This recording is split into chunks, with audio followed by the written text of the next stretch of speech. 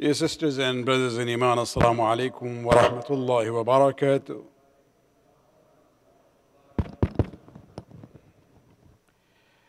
Today, inshallah, we'll uh, have a quiz.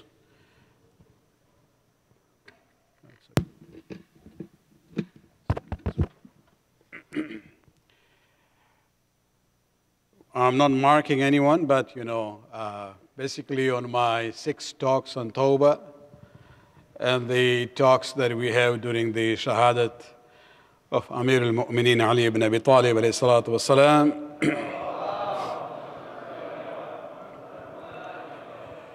so there will be some different questions, just want to see, you know, uh, how people have retained the, the concepts and some of the historical events about the Shias of Ali. Um, and so you have that, the, uh, the website to go on your mobile phones and the entry code 5915-26776.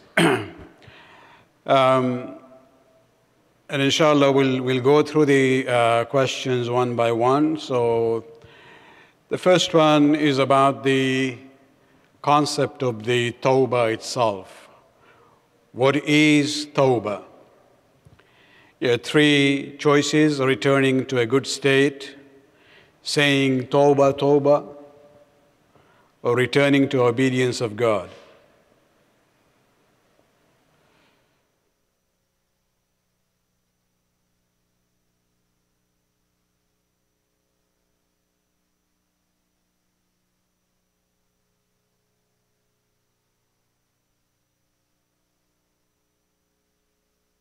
The literal meaning, of course, is returning. But the way we talked about it, that's what I would like to see. What is the answer? okay, we have 121 right, which is a good, good number here. And 19 return to a good state is fine. And two, maybe they are still in the childhood phase. Okay. Um, this the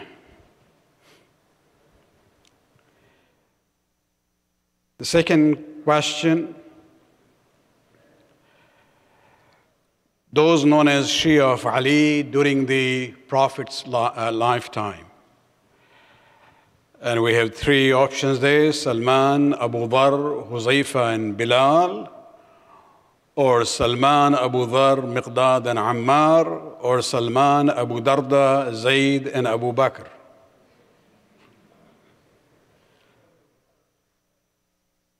Let's see who selects the third one.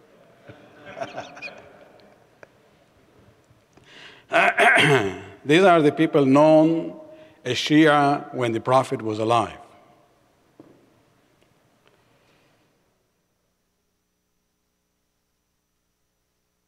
Third choice surprises me there. I was expecting that to be zero. But anyway. then we come to the.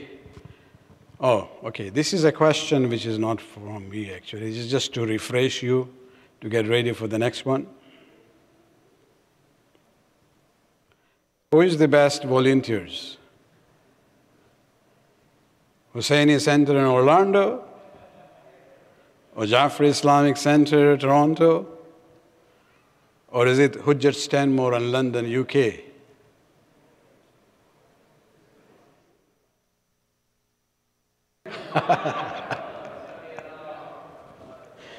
all, all the volunteers are great. You know, this is just a to keep you in the good mood for the next question.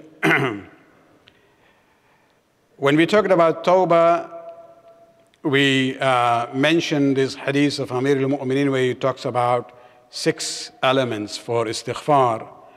And the first two, I mentioned that to be as the essential elements of Tawbah. If you remember that. And so um, when we look at that, is it getting rid of the haram flesh and fulfilling missed obligations? Or paying, number two, paying the people's rights and feeling the pain of obedience, or number three, remorse on committing the sin and resolve to not repeat it. This is the essential elements of Tawbah. We are not talking about perfection or conditions for acceptance.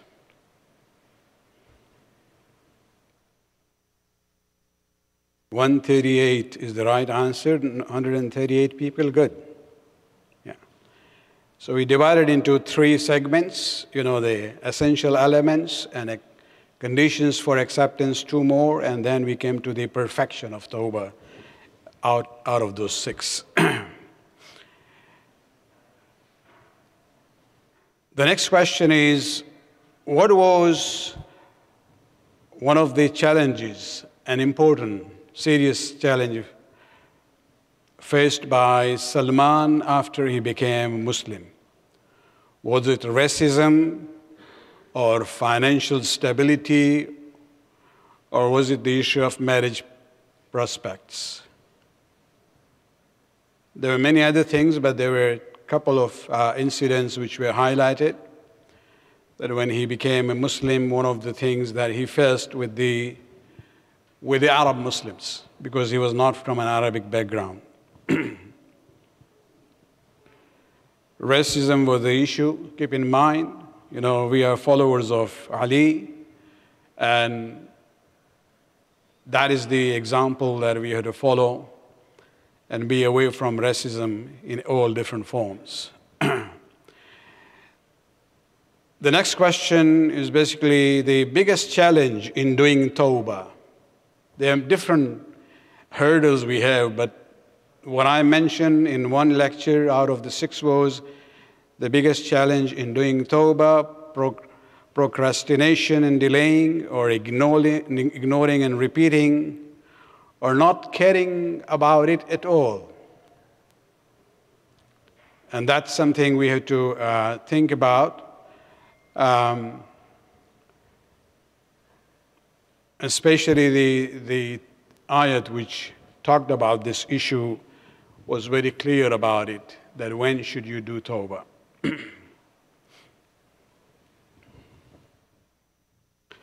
Okay, this is challenging. This is interesting. Yeah, Nine, the first one is the correct answer. The second would be acceptable. But that was the first one procrastination and delaying. Because we don't know when the time will come, when we are called back. While talking, next, next question is more again about the Ashab and the history. When we're talking about Abu Dhar al-Ghifari, um, he narrated this beautiful event that he was witness to it when the ayat of vilayat was revealed in praise of Amir al-Mu'mineen when he gave away the ring to the beggar in the state of uh, ruku. And I purposely mentioned the number of the ayat again. It was so that you can easily remember it. Is it Surah 33, Ayat 33, or is it Surah 5, Ayat 55, or is it Surah 3, Ayat 33? All three are about Ahlul Bayt. But this is the ayat إنما وليكم الله ورسوله والذين آمنوا الذين يقيمون الصلاة ويؤتون الزكاة وهم راكعون an act which was never sun- sunnat again. This was only done once.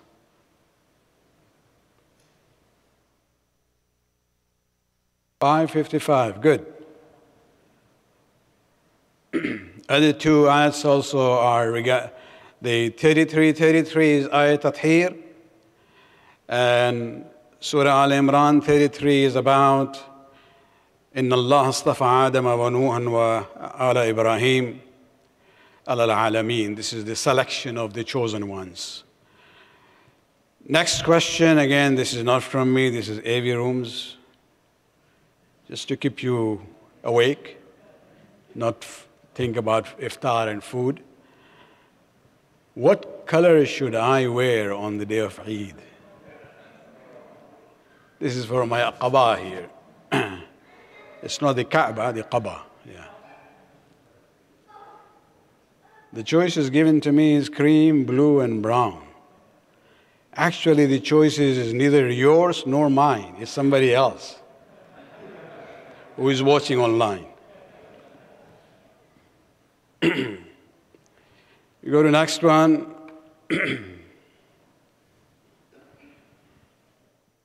the grace period to ask for forgiveness before the sins are even written down in your records by the malaika. There's a hadith about it, and uh, we looked at it. Is it 24 hours? Or is it seven hours after that? Or is it 12 hours?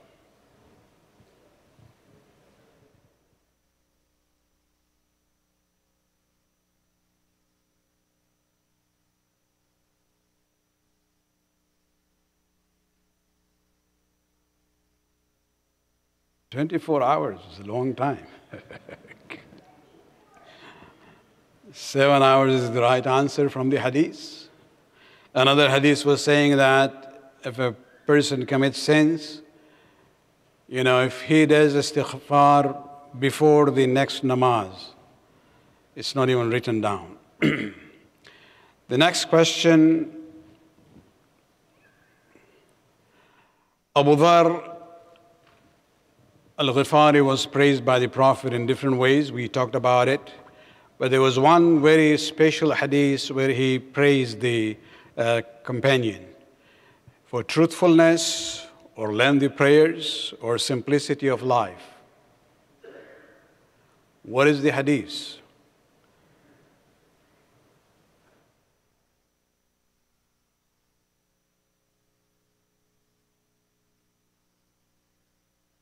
Remember, the standards of companions and the standard for the Ahlul Bayt are different. Truthfulness. Okay, that's a good one.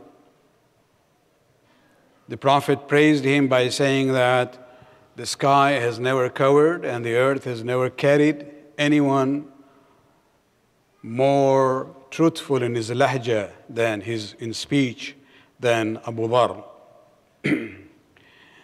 On the 21st of Ramadan in the Majlis, I continued the same theme of the companions of Ali or the Shias of Ali of the early days, and we chose a lady as an example who was very courageous and a poet in her poetess in her own right. She confronted Muawiyah for his injustice done to her area by the um, revenue officers sent to Yemen. And so, who was that person? أسمى بنت عميس or أم سلمة أم المؤمنين or سودة بنت عمارة.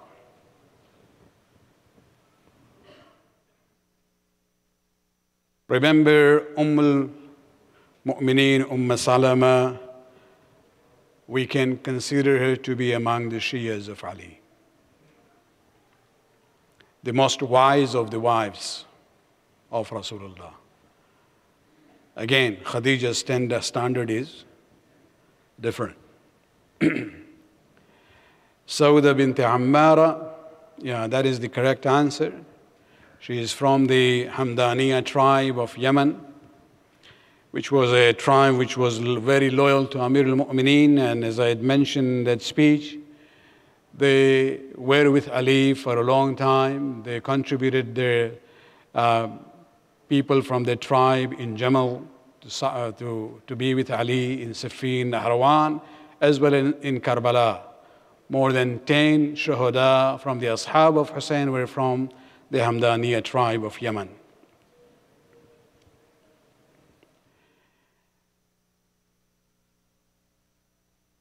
The next, next question is about, again, re related to the companions. The two companions whom we know to be the Shias of Ali, known as such, during the days of the Prophet was Abu Dhar and Ammar, and they were very critical of the policies of the third Khalifa?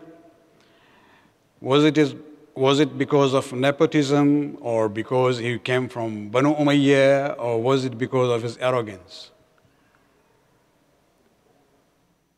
Ammar was actually even physically assaulted by um, the third Khalifa. He came down from the minbar and kicked him to the point that Ammar became unconscious. it was because of nepotism, where the Baytul Mal was now only, in a way, used for uh, Banu Umayyah and the people that he had appointed from that tribe in different, different uh, positions during his Khilafat.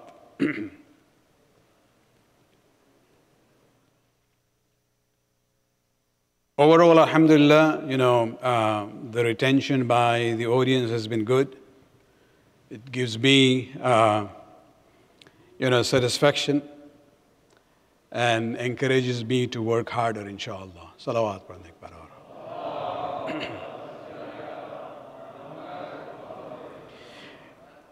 I just wanted to make a uh, note here about the little qari that we uh, heard. And Alhamdulillah, this is a good uh, a tradition that which has been started. It's a bid'ah hasana, if I may call it. It's a good one, and uh, I hope we can continue that. Uh, especially the, the, the third uh, boy there, he was very uh, you know, enthusiasm in reciting the surah that he was. Um, it was as if he understood the meaning. I'm not sure about it, uh, but the way he was reciting with the action, Alhamdulillah, may Allah subhanahu wa ta'ala bless them, give them the tawfiqat, and bless their parents and their children. Um, because that is the future. That's whatever we are doing here, here is not for ourselves. This is for the next generation. We can have the best of buildings, but if we don't prepare them to come here and use it, we have not really done anything. And that is what we have, we have to work for it, and may Allah subhanahu wa ta'ala increase their, their tawfiqat. We have about uh, five minutes or so be before we close. I would be willing to respond to a question or so, maybe a couple of them. We haven't arranged any mic or anything, but if you,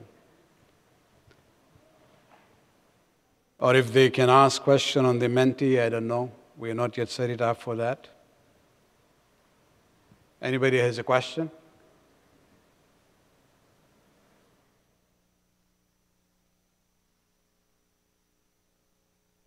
Maybe I will ask you a question. Yes.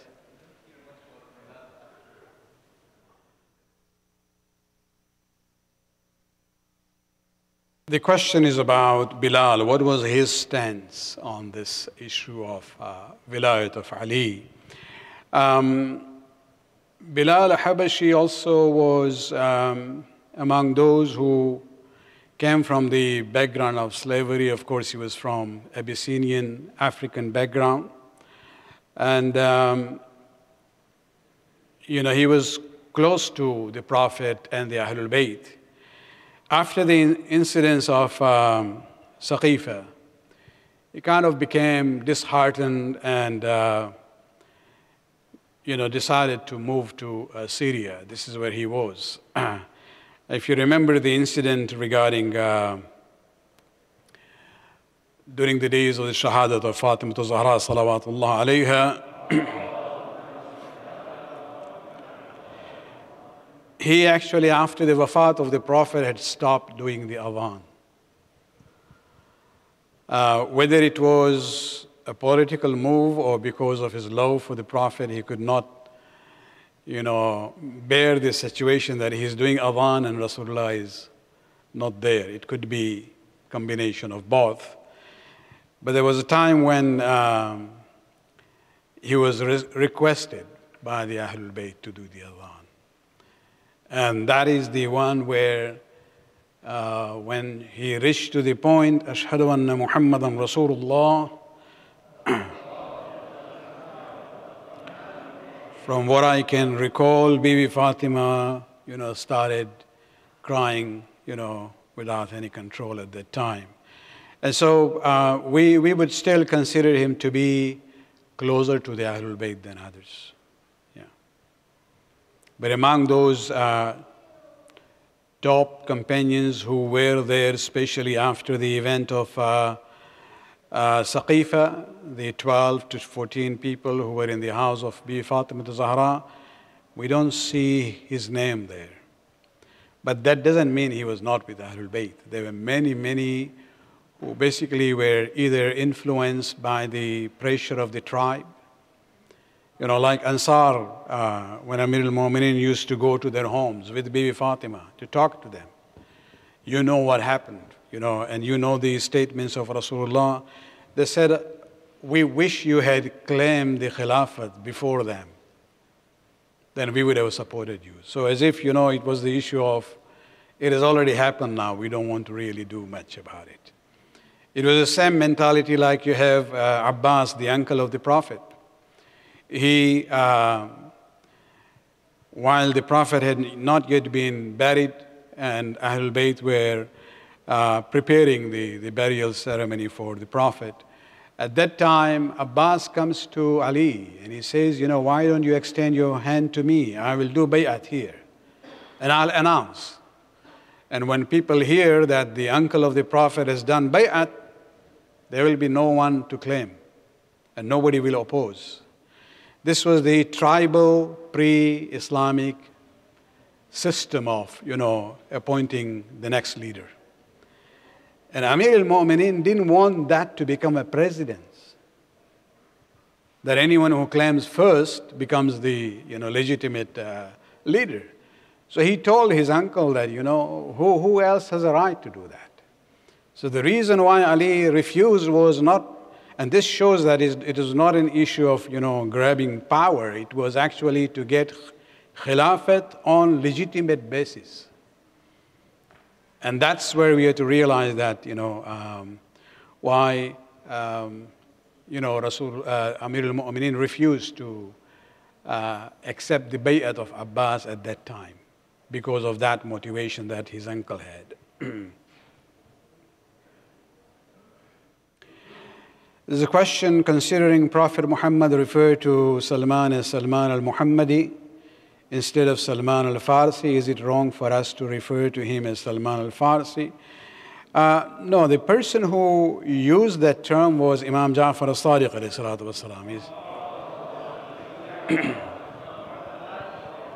the Prophet said, Salman minna Ahlul Bayt. Salman is from us, the Ahlul Bayt. But the term Salman al Muhammadi was used by the sixth Imam. And the fifth Imam before him used Salman al Farsi. And uh, I think even some of the other uh, Imams, if I can recall their statements about Salman. So it's not wajib and haram issue here. You know, even if you say Salman al Farsi, it's still okay. Um, the emphasis that the sixth Imam had was that he, he is Salman al Muhammadi emphasizing that if you are uh, on the right, you know, uh, path in your beliefs and your actions, you are closer to Ahlul Bayt than others who might be from the same tribe. Yes.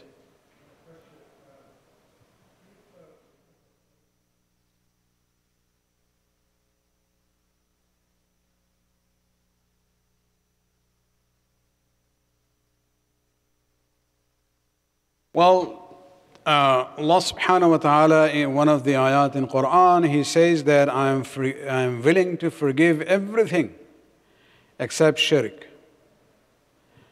Because that is the foundation of our faith, tawheed, and to believe in uh, monotheism, the divinity of Allah subhanahu wa ta'ala, He is not compromising on that issue. To dilute that in that way, no. So that, that is a completely, you know, there is no tawbah for shirk. The, the, the tawbah for shirk is to become muwahid, to believe in the uh, monotheism and oneness of God. We'll con conclude here. ربنا آتنا في الدنيا حسنة وفي الآخرة حسنة وقنا عذاب النار برحمتك يا أرحم الراحمين